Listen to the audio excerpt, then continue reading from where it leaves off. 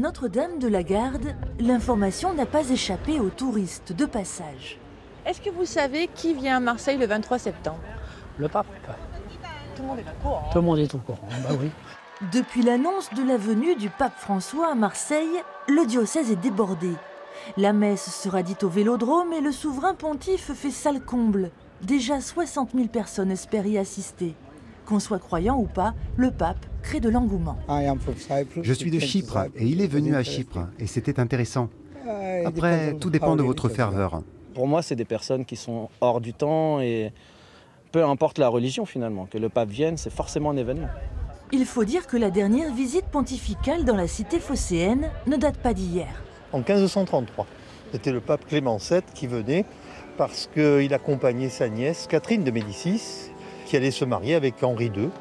Et donc François Ier avait accompagné son fils et ça s'est passé sur Marseille.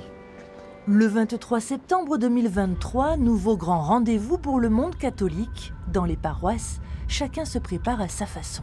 Vous priez, je pense que vous priez pour l'Église, pour le pape. C'est une, une préparation spirituelle d'abord. hein.